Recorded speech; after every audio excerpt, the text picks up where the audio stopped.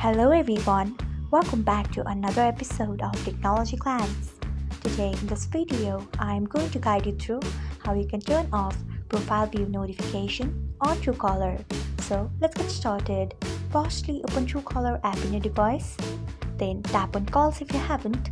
Next tap on three dots icon. After that tap on settings.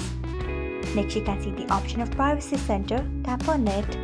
After that you can see the option of profile view notification. Turn off it by tapping on it. So this is how you can turn off profile view notification on Truecaller. Thanks for watching.